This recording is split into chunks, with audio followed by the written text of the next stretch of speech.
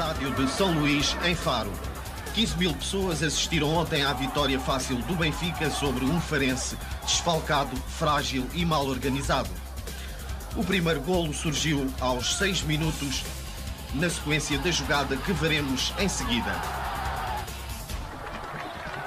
Chalana vai isolar-se, vai tentar passar Pérez, que lhe toca ainda num pé e, portanto, penalti que Rosa Santos não teve dúvidas em apontar.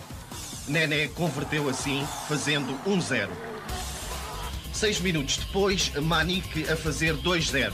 Um gol bonito, mas muito facilitado.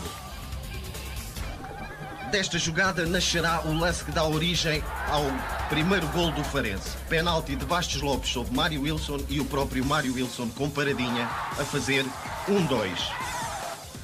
Aos 32 minutos, Stromberg a marcar um golo de belo efeito. Assim.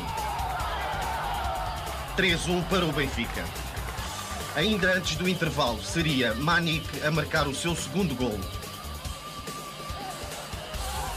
Deste modo, Pérez ainda toca na bola, mas não havia nada a fazer. 4-1 ao intervalo. Logo no início da segunda parte, a linha cortar a bola, Manik a cair, o árbitro a mandar marcar penalti quanto a nós mal. Nené a permitir a defesa de Pérez. O quinto gol do Benfica só surgiria aos 12 minutos e também por Nené, que falhou à primeira e depois, assim, à segunda, fez o gol.